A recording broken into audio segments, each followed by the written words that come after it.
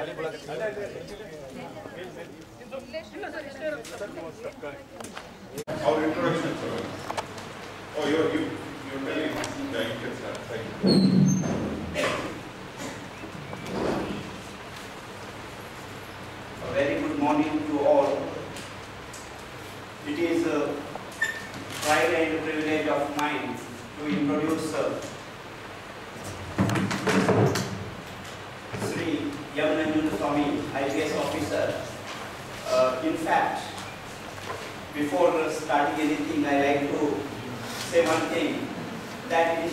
strange and rarest thing in our uh, academics where a police officer could be also a literature man, could be also academician. It is a really, uh, really strange and rare thing to say and uh, uh, I feel proud of Sir. Sir Malwadi Nanjuna Swami born on 28th of March 1970. He had his initial education in undivided Dharwad district, though he is from South Karnataka, so, but uh, studied here in our locality. He studied his pre-university course in Karnataka Science College, Harvard, and uh, then he joined the eminent Technical Institute of Karnataka Regional Engineering College, Surathkal. He obtained his Bachelor of Technology degree in the mining and, uh, and mining engineering from the college. Then he worked as a mining engineer in Goa and Jharkhand. Then he did his management studies in Indian Institute of Coal Management, Ranchi. While serving in coal mines of uh, Hazaribagh district, he wrote uh, coveted civil service exams conducted by Union Public Service Commission, India, and joined the Indian Police Service in the year 1997 with a very good All India rank. He received the police training in Sardar Vallabhbhai Patel National Police Academy, Hyderabad. After his training, he was allotted to Karnataka cadre and he has served the state in various capacities. Presently, he is working in the Bangalore city as a Deputy Inspector General of Police in Directorate of Civil Rights Enforcement. In the year 2005, he was selected by the United Nations and sent to United Nations mission in Kosovo, where he served the nation troubled by ethnic strife caused by the strife between Albanians and Serbians. Sir has got the awards. He has been awarded National Global Alumni Excellence Award by the National Institute of Technology Karnataka, Surat in the year 2004. Then he has been also awarded with a medal for serving uh, in the UNMIK by the United States. And uh, sir, the area of his interest, it is uh, simply a ಅದು material ಬರ್ತದಲ್ಲ ಅಥವಾ ಇದು ಬಂದಿಲ್ಲ Sir, ಬಂತಾ another five minutes. They are coming with that material Yes. Okay that's fine then open ಮಾಡಿ okay collection ಇದು ಇವತ್ತಿನ topic ಏನಂತಂದ್ರ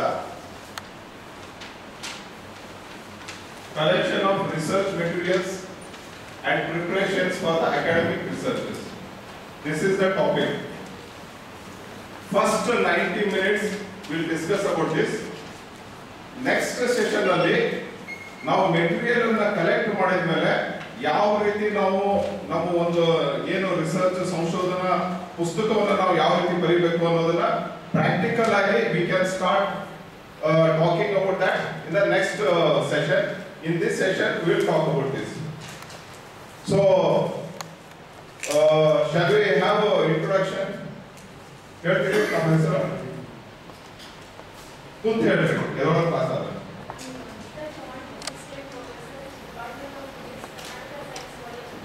ನಾನು ಕೆ ಸಿ ಟಿ ಒಳಗೆ ಹೋಗ್ತೀನಿ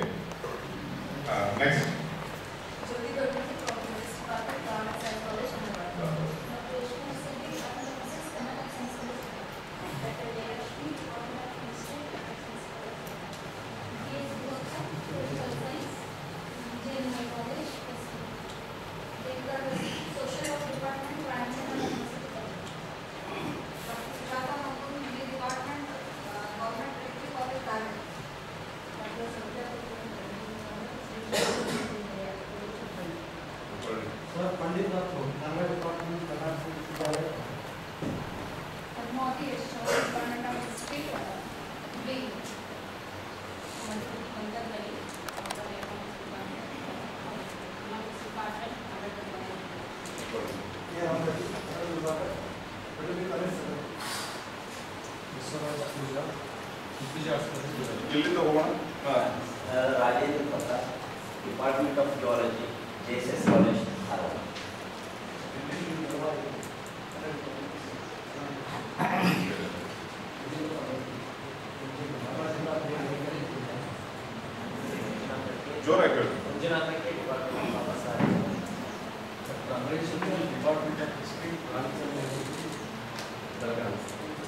Prakash shopping department of chemistry Kotreshwar college Kotreshwar Mahantesh department of zoology engineer college remember department of political science western college Gudgul Pritam department of zoology बंडार college Gudgul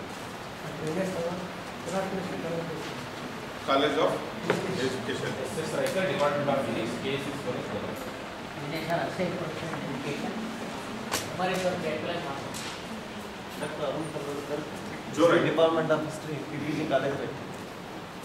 RK Dafedar department of zoology government college Karwa Sunil Kumar management department Ravi Gola department of course oral college से इनकी विद्या आई के department of zoology के department of commerce college Sunil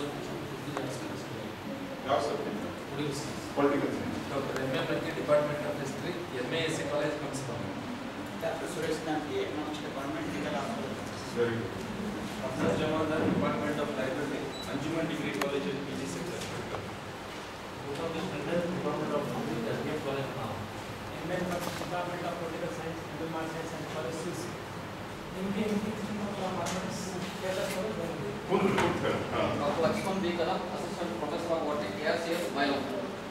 SP Patel, Division Degree College, Kolkata. Indian University, Department of Sociology, English College. Dr. K.V. Jayappa, Karnataka Department, Physical Sciences. Okay, thank you very much. Sir, Xavier Gama, Department of Physics and Science College. Oh, thank you very much. Actually, ನಾನು ನಿಮಗೆ ಇಷ್ಟು time ಕೂಡ ನಾನು ನಿಮಗೆ ಯಾಕೆ is it ಇದು off ಮಾಡೋಣ ಅನ್ನೋದು ಚಲೋ ಆತ. ಎಲ್ಲರೂ ಕೇಳಿಸ್ತೇನೆ ನಾನು?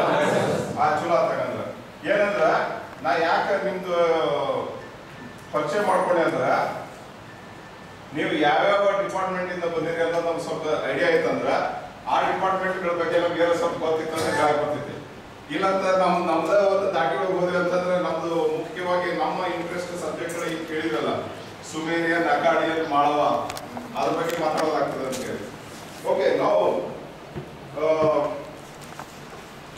ಅದು ನೀವು ಕಂಟ್ರೋಲ್ ಮಾಡ್ತೀರಿ? ನೀವು, ನಾವು ನೀವು ಏನಾರ ರಿಸರ್ಚ್ ಮಾಡ್ರಿ. ಈ ಆರು ಮಂದಿನ ನಿಮ್ ಪುಟಾಗ ಇಟ್ಕೊಂಡ್ರಿ ಅಂತಂದ್ರೆ ನಿಮ್ ರಿಸರ್ಚ್ ಚಲೋ ಆಗ್ತದೆ. ಆಮೇಲೆ ನಾನು ನಿಮ್ಗ ಏನಾರ ಮುಂದೆ ಹೇಳೋದಕ್ಕಿಂತ ಮೊದಲು ನಾನು ನಿಮ್ಗೆ ಮತ್ತೆ ಒಂದಿಷ್ಟು ವಿಷಯಗಳನ್ನ ಕೇಳಲಿಕ್ಕೆ ಇಷ್ಟಪಡ್ತೀನಿ. ಯಾರು ನಮಗೆ ಹೇಳ್ತೀರಿ ರಿಸರ್ಚ್ ಅಂದ್ರೆ ಏನಂತ ಹೇಳಿ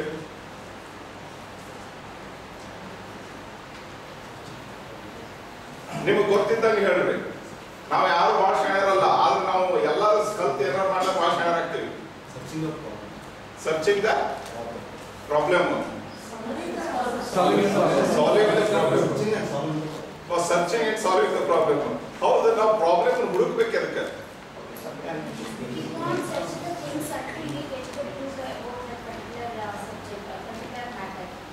ಆಮೇಲೆ ನಾವು ಸರ್ಚ್ ಮಾಡಿದ ಕೂಡಲೇ ಟ್ರೂತ ಸಿಗ್ತೈತಿ ಪರಿಹಾರ? ಪರಿಹಾರ ಉಪಾಯಗಳನ್ನು ಹೇಳ್ಬೋದು.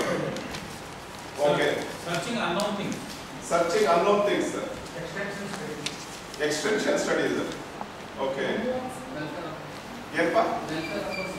ವೆಲ್ಫೇರ್ ಆಫ್ ದ ಸೊಸೈಟಿ ಮಾಡೋದ ರಿಸರ್ಚ್ ವೆರಿ ಗುಡ್ ಹೊಸ ವಿಷಯವನ್ನು ಸಂಗತಿಯನ್ನು ಹುಡುಕುವಂತ. ಹೊಸ ವಿಷಯ ಅಥವಾ ಸಂಗತಿಯನ್ನು ಹುಡುಕೋದು. ಆಯ್ತು. ಈಗ ನಿಮ್ಗೆಲ್ಲರಿಗೂ new ideas. Innovation of new ideas is research okay very good ಈಗ ನೀವೆಲ್ಲರೂ assistant professor H M H ಎಲ್ಲರೂ ನೀವು ಪಿ ಎಚ್ ಡಿ ಮಾಡಿರ್ತೀರಿ, ಇಲ್ಲಾಂದ್ರೆ ಅಟ್ಲೀಸ್ಟ್ ಒಂದು ಥೀಸಿಸ್ ಆದ್ರೂ ಬರ್ತಿರ್ತೀರ, ಹೌದಾ? ಎಷ್ಟು ಮಂದಿ ನಿಮ್ ಗುರುಗಳು ಮಾಡಿದ ಥೀಸಿಸ್ ನೋಡಿ ಅದನ್ನ ಬರ್ತೀರಿ ಹೇಳಿ ಓಕೆ ಯಾರು ಹೇಳಂಗಿಲ್ಲ, ಬೇಡ. ನಾನು ಒಂದು ಮಾತು ಹೇಳ್ತೀನಿ ನಿಮ್ಗೆ. ನಿಮ್ಗೆ ಎಲ್ಲರಿಗೂ ಲಗ್ನ ಆಗಿದೆ, ಅಥವಾ ಲಗ್ನ ಆಗ್ತವ್ರಿ ಯಾರು ಅದಿರಿ?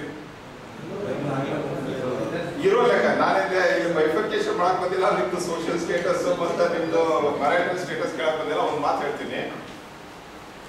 ಎಲ್ಲರೂ ವರ್ಜಿನ್ ಫೀಲ್ಡ್ ಒಳಗ ರಿಸರ್ಚ್ ಮಾಡ್ಬೇಕಂತೇಳಿ ಆಸೆ ಇಟ್ಕೊಂಡಿರ್ತಾರೇನು ಇಟ್ಕೊಂಡಿರ್ತಾರ?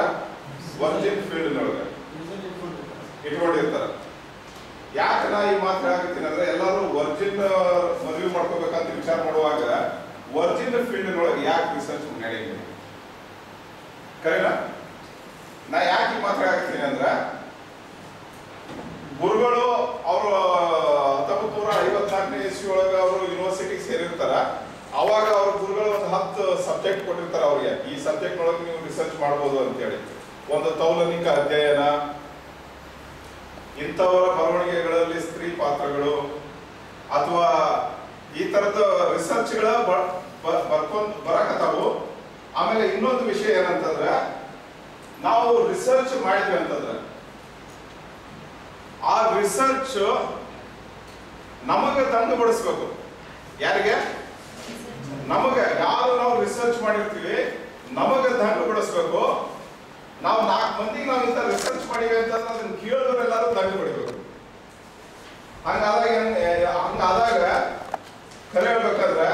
ನಿಜವಾದ ರಿಸರ್ಚ್ ಆಗಿದೆ ಅಂತ ಅರ್ಥ. Research which doesn't shock most of the time it is not not appears to be research correct ಬೇಕಾದ್ರೆ ರಿಸರ್ಚ್ ಭಾಳ ಆಗ್ತಾವ. ಆದ್ರೆ ದಂಡ ಬಡಿಸ್ತ ಅಂತಂದ್ರೆ, ಅದು ನಿಜವಾದ ರಿಸರ್ಚ್ ಆಗಲಿಕ್ಕೆ ಬಹಳ ಹೈಯರ್ ಸ್ಟೇಟಸ್ ಬರ್ತದೆ. ನೀವು ಯಾವ್ದಾರ ಒಂದು ದಂಡ ಬಡಿಸುವಂತ ರಿಸರ್ಚ್ ಬಗ್ಗೆ ಕೇಳಿದ್ರಿ ಕೇಳಿದ್ರಿ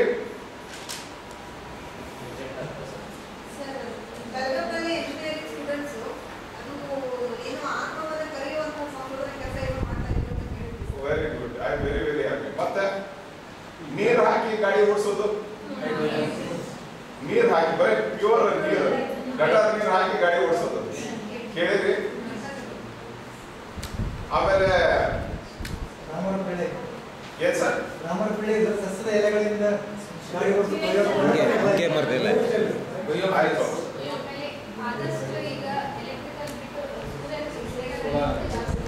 ರಿಸರ್ಚ್ ಆದಷ್ಟು ಈಗ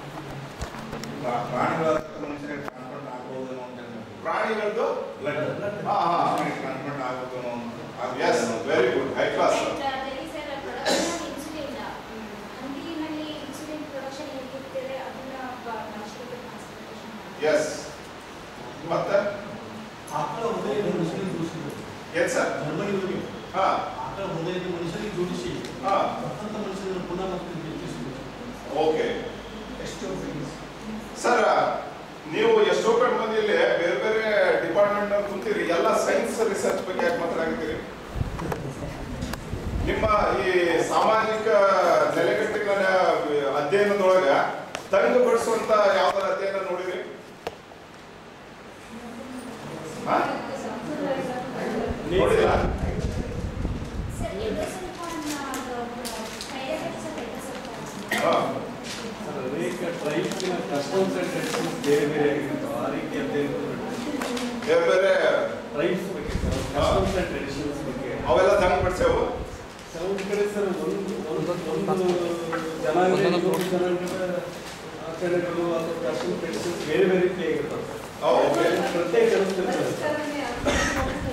ಏನ್ ಮೇಡಮ್? ಯಾವುದು ಧರ್ಮದ ವಿಷಯಗಳ. ಸಂಪ್ರದಾಯಕ ಅಲ್ಲ ಇದು ವೈಜ್ಞಾನಿಕ ಅಲ್ಲ ಅಂತ ಹೇಳಿದಾಗ ಕೆಲವೊಂದು ವಾದ ವಿವಾದಗಳು ಆಗ್ತಾ ಇರ್ತದೆ. ತಂಗುಪಡಿಸ್ತಾವ I am very happy physics ನೊಳಗ ಈಗ ಅತ್ಯಂತ ರೀಸೆಂಟ್ ರಿಸರ್ಚ್ ಏನ್ ನಡೆದದ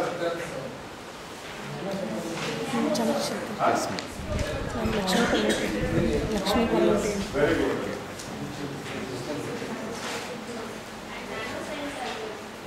sixth sixth sense technology ಬಗ್ಗೆ ಕೇಳಿರಿ ಸಿಕ್ಸ್ತ್ ಸೆನ್ಸ್ ಟೆಕ್ನಾಲಜಿ ಅಂದ್ರೆ ಏನು?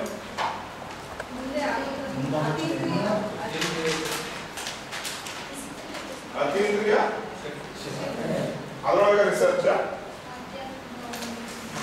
ನಿಮ್ಗೆಲ್ಲರೂ ಇದು ಮೆಟೀರಿಯಲ್ ಬಂತ ಓಕೆ ನಾನು ನಿಮ್ಗೆ ಇದು ಮೆಟೀರಿಯಲ್ ಅದ್ರೊಳಗೆ ಏನು ಕೊಟ್ಟಿರಲ್ಲ ನಾನು ಅದನ್ನ ಮಾತಾಡೋದಿಲ್ಲ. ಮತ್ತೆ ಅದನ್ನ ಮೀರಿ ನಾವು ಮಾತಾಡೋಣ. ಯಾಕಂತಂದ್ರೆ ನಾವು ಈ ಮೆಟೀರಿಯಲ್ ನಿನ್ನೆ ತಯಾರು ಮಾಡೀನಿ ನಾನು ನಿನ್ನೆ ತಯಾರು ಮಾಡಿರೋ ಮೆಟೀರಿಯಲ್ ಬಗ್ಗೆ ಇವತ್ತು ಸತಿ ನಾವು ಮಾತಾಡ್ತೀನಿ ಅಂದ್ರೆ ನಾನು ನಿನ್ನಿಂದ ಇವತ್ತಿಗೆ ನಾನು ಬೆಳೆದಿಲ್ಲ ಅಂತ ಅರ್ಥ. ಏನ್ರಿ? So this is just a guidance ನಮ್ಮ ಮೂಲ ಉದ್ದೇಶ ಇವತ್ತು ಏನಂದ್ರೆ ಮೆಟೀರಿಯಲ್ ಅನ್ನ ಒಂದು ರಿಸರ್ಚ್ ಮಾಡೋದಕ್ಕೆ ಹೆಂಗ ಕಲೆಕ್ಟ್ ಮಾಡಬೇಕು ಅಂತ ಹೇಳಿ. Next If you steal from one author, it's plagiarism. If you steal from many, it's research. Mitterrand president ಫ್ರೆಂಡ್ವಾಯ್ಸ್ ಅನ್ನೋ ಭಾಳ ಹಿಂದೆ ಹೇಳ ನೀವು ಯಾವ್ದಾರ ನಿಮ್ಮ ಗುರುಗಳದ್ದು ಮೈಲಾರಪ್ಪ ಗುರುಗಳದ್ದು ಒಂದ ಒಂದು ಪುಸ್ತಕ ತಗೊಂಡು ಅದನ್ನ ಪೂರಾ ಬಟ್ಟಿ ಅಲ್ಲ? ಏನಂತಾರ ಅದಕ್ಕೆ? ಕೃತಿ ಚೌರ್ಯ ಅಥವಾ ಪ್ಲಾಗಿಯರಿಸಮ್ ಅಂತ ಹೇಳ್ತಾರೆ. ಇಂಗ್ಲಿಷ್ ಒಳಗೆ ಪ್ಲಾಗಿಯರಿಸಮ್ ಅಂತಾರೆ ಕನ್ನಡದೊಳಗೆ ಏನಂತಾರ? ಕಳುವು ಮಾಡ್ಯಾಲ ಅಂತಾರ. ಮಾಡ್ಯಾನ ಅಂತಾರ? ಅಂತ ಹೇಳ್ತಾರೆ. ಅದ ನೀವು ಬಹಳಷ್ಟು ಪುಸ್ತಕಗಳನ್ನ ತಗೊಂಡು ಓದಿ ಅದ್ರಾಗಿಂದ ಒಂದೊಂದ ವಾಕ್ಯಗಳನ್ನ ತಗೊಂಡು ಅದ್ರಾಗಿಂದ ಬಟ್ಟಿಗಳನ್ನ ಬಟ್ಟಿ ಇಳಿಸಿ ನೀವು ತಗೊಂಡ್ರಿ ಅಂದ್ರೆ ಏನಂತಾರ? ರಿಸರ್ಚ್ ಅಂತ ಹೇಳ್ತಾರೆ. ಆಮೇಲೆ ಒಬ್ಬ ಹೇಳ್ತಾರ, ಅಗ್ರಿ ಚಲೋ ರಿಸರ್ಚ್ ಅಂತಂದ್ರ, ನೀವು ದಿನಾಲು ಮುಂಜಾನೆ ನಾಷ್ಟಾ ಮಾಡಕ್ ಹೋಗ್ತಿರಲ್ಲ ಅವಾಗ ಈ ಪ್ರಪಂಚದೊಳಗೆ ಏನೇನ ಹೈಪೋಥಿಸಿಸ್ ಅದಾವಲ್ಲ ರಿಸರ್ಚ್ ಮಾಡೋದ್ರ ಬಗ್ಗೆ ಅಥವಾ ಬೇರೆ ಬೇರೆ ವಿಷಯಗಳ ಬಗ್ಗೆ, ಆ ಹೈಪೋಥಿಸಿಸ್ಗಳಲ್ಲಿ ನೀವು ಎಷ್ಟು ಸಾಧ್ಯ ಅಷ್ಟು ನೀವು ಬಿಟ್ಟು ನೀವು ನಾಷ್ಟ ಮಾಡಕ್ ಹೋದ್ರೆ ಅಂದ್ರೆ ನೀವು ರಿಸರ್ಚ್ ಚಲೋ ಆಗುತ್ತೆ. ಏನಂತೀರಿ ಬಹಳಷ್ಟು ಮಂದಿ ಏನ್ ಮಾಡ್ತಾರ ಯಾವುದೇ ರಿಸರ್ಚ್ನ ಮಾಡ್ಬೇಕು ಅಂತಂದ್ರೆ ಬರೀ ಹೈಪೋಥೆಸಿಸ್ಗಳ ಏನು ಬಹಳ ವರ್ಷಗಳಿಂದ ಬದುಕಿದಾವ ಈ ಭೂಮಿ ಮೇಲೆ ಆ ಹೈಪೋಥೆಸಿಸ್ ಗಳನ್ನ ಇಟ್ಕೊಂಡ ರಿಸರ್ಚ್ ಮಾಡ್ತಾರೆ ನಾನು ನಿಮ್ಗೆ ಹೇಳಲಿಕ್ಕೆ ಇಷ್ಟಪಡ್ತೀನಿ ನಿಮಗ, ನಿಮ್ಮ ಗುರುಗಳು ನಿಮಗೆ ಥೀಸಿಸ್ ಬರೆಯುವಾಗ ಅಥವಾ ನೀವು ಪಿ ಎಚ್ ಡಿ ಮಾಡುವಾಗ ಅವ್ರು ಏನ್ ಹೇಳಿದ್ರು? Statistics method ಇಟ್ಕೊಳ್ರಿ.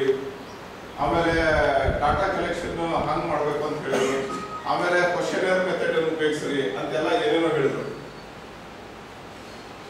ಈ data collection method research start ಆಗೋದಕ್ಕಿಂತ ಮೊದಲು ಕ್ವಶನ್ ಹಾಕಿ ಇನ್ಫಾರ್ಮೇಶನ್ ಕಲೆಕ್ಟ್ ಮಾಡುವಂತ ಮೆಥಡ್ ಚಾಲೂ ಆಗೋದಕ್ಕಿಂತ ಮೊದಲು ರಿಸರ್ಚ್ ಆಗಿಲ್ಲೇನು ಆಗ್ಯಾವ ಇಲ್ಲ? ತಲೆ ಮೇಲೆ ಸೇಮ್ ಹಣ್ಣು ಬಿದ್ದದಕ್ಕೆ ಒಂದು ರಿಸರ್ಚ್ ಆಗ್ತಿಲ್ಲ? ಥಾಮಸ್ ಆಲ್ವಾ ಎಡಿಸನ್ ಮೂಲ್ಯಾಗ ಕೂತ್ಕೊಂಡು ಮಾತಾಡುವಾಗ ಒಂದು ಪ್ಲೇಟ್ ಅಳ್ಳಾಡ್ತಿತ್ತಂತ ಇದು ಪ್ಲೇಟ್ ಯಾಕೆ ಅಳ್ಳಾಡ್ತೈತಿ ಅಂತೇಳಿ ಹೋಗ್ಬಿಡಿದ್ರೆ ಪ್ಲೇಟಿನ ಮೇಲೆ ಒಂದು ಪಿನ್ ಇತ್ತಂತ. ಪಿನ್ ಯಾವಾಗ ಅವ್ ಮಾತಾಡಿದ್ರೆ ಅಳ್ಳಾಡ್ತಿತ್ತಂತ ಅದಕ್ಕೆ ಏನ್ ಕಂಡು ಹಿಡಿದವ ಗ್ರಾಮಫೋನ್ ಕಂಡು ಹಿಡಿದ ಅದು ಯಾವ ರಿಸರ್ಚ್ ಮೆಥಡ್ ಒಳಗೆ ಬರ್ತೈತೆ ಅದು? ಯಾವ ರಿಸರ್ಚ್ ಮೆಥಡ್ ಬರ್ತೈತೆ?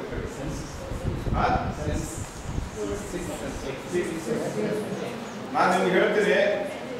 ಏನ್ವಾ. Analysing. Yes realising the thing ನಾನು ನಿಮ್ಗೆ ಹೇಳ್ತೀನಿ ದಯಮಾಡಿ ನೀವು ಮಾಡ್ತಾ ಇರುವಂತ ರಿಸರ್ಚ್ಗೆ ಯಾವುದೇ ಹೆಸರು ಕೊಡಕ್ ಹೋಗ್ಬೇಡಿ ಏನಂತೀರಿ? ನೀವು ಮಾಡ್ತಾ ಇರುವಂತ ರಿಸರ್ಚ್ಗೆ ರಿಸರ್ಚ್ ಮೆಥಡ್ಗೆ ಯಾವುದೇ ಹೆಸರನ್ನ ಕೊಡಕ ಹೋಗ್ಬೇಡ್ರಿ. ಅವಾಗ ನಿಮ್ಮ ರಿಸರ್ಚ್ ಬಹಳ ಬಹಳ ಬಹಳ ಚಲೋ. ನೀವು ಗುರುಗಳ ಸಂಗೀತದ ಗುರುಗಳದಿರಲ್ಲ, ನಾನು ನಿಮ್ಗೆ ಹೇಳ್ತೀನಿ, ನೀವು ಈ ಪ್ರಪಂಚದೊಳಗೆ ಇರುವಂತ ಎಲ್ಲ ರಾಗಗಳನ್ನ ಬಿಟ್ಟು ನಿಮ್ಮದೇ ಆದ ರಾಗಗಳನ್ನ ಹಾಡು ಹೇಳ್ರಿ. ಮಂದಿಗೆ ಲೈಕ್ ಆಗ್ತೈತೋ ಆಗ್ತೈತೇನು ಸರ್. ಜೋರಾಗಿ ಹೇಳ್ರಿ. ಇನ್ನೂ ಜೋರಾಗಿ ಹೇಳ್ರಿ. ಆಗ್ತೈತಿ. ನಾನು ನಿಮ್ಗೆ ಅರ್ಥ ಹೇಳ್ತೀನಿ ದಯಮಾಡಿ ನೀವು ರಿಸರ್ಚ್ ಮಾಡೋದನ್ನ ಅಥವಾ ನೀವು ಯಾವ್ದು ರಾಗದೊಳಗೆ ಹಾಡು ಹೇಳ್ತೀರಿ ಆ ರಾಗವನ್ನ ಏ ಬಹಳ ವರ್ಷ ಆಗ್ಯದ ದೀಪಕ್ ರಾಗದೊಳಗೆ ನಾವು ಹಾಡೋಣ ನಾವು ಮೇಘ ಮಲ್ಲಾರ ರಾಗದೊಳಗೆ ಹಾಡೋಣ.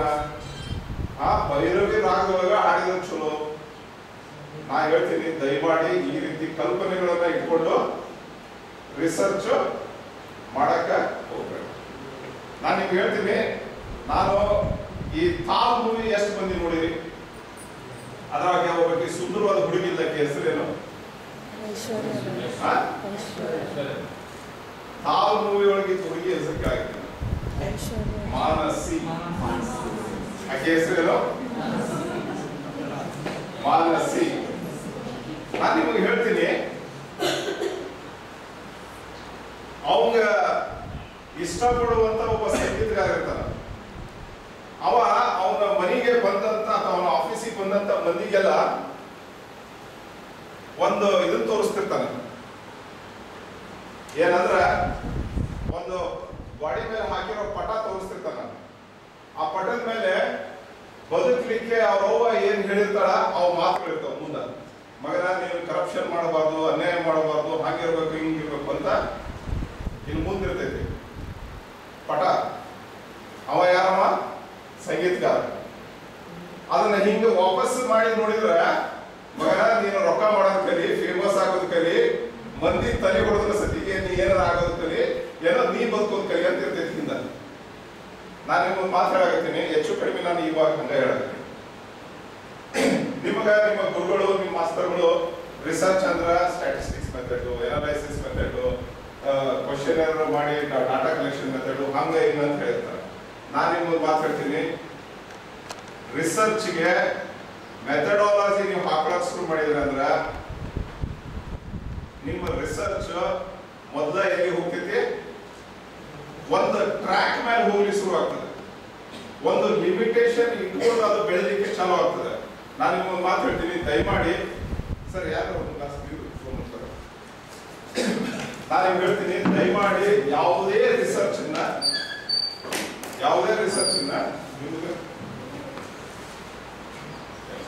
ಯಾವುದೇ ರಿಸರ್ಚ್ ನೀವು ಇಷ್ಟ ಬಂದಾಗ ಮಾಡಿ.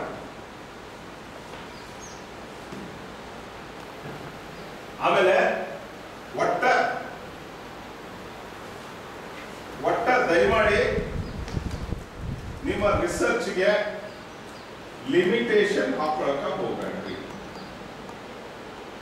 ನಾನು ನಿಮಗೆ ಯಾವ ರಿಸರ್ಚ್ ಬಗ್ಗೆ ಮಾತಾಡಕತ್ತೀನಿ ಗೊತ್ತಾ ನೀವು ಒಂದು ಪಿ ಎಚ್ ಡಿ ಮಾಡಿ ನನ್ನ ಪ್ರೊಫೆಸರ್ ಆಗಬೇಕು ನಂದು ಪಗಾರ ಜಾಸ್ತಿ ಆಗಬೇಕು ನನಗೆ ಯೂನಿವರ್ಸಿಟಿ ಒಳಗೆ ನಾನು ಡಾಕ್ಟರ್ ಅಂತ ಅನ್ನಿಸ್ಕೋಬೇಕು ಅಂತೇಳಿ ನೀವೇನು ರಿಸರ್ಚ್ ಮಾಡ್ತೀರಲ್ಲ ನಾನು ಆ ರಿಸರ್ಚ್ ಬಗ್ಗೆ ಮಾತಾಡಕತ್ತೀನಿ ನಾನು ಮಾತಾಡ್ತಾ ಇರುವಂತ ರಿಸರ್ಚ್ ನ್ಯೂಟನ್ ಹೋಗಿ ಸೇಬೋರ್ಡಿಂದ ಹೊಡೆದ ತಿಂದು ಗ್ರಾವಿಟಿ ಕಂಡುಹಿಡಿದಂತ ರಿಸರ್ಚ್